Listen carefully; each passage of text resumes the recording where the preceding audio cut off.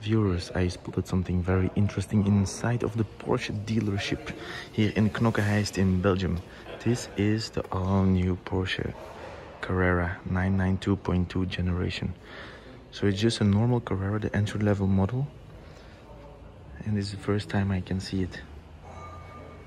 And I think especially the back is way, way sport, more sporty in the front. So it's only the GTS model that has this uh, air intakes uh, like the fins that are opening and closing. So this is the the front end that that you can, are going to see on the road the most. And so let's do a little walk around. And I think this is very nice. But yeah we are expecting to see the GTS model in Belgium in October.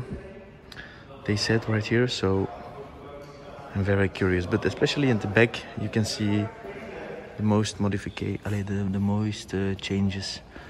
So, uh, yes.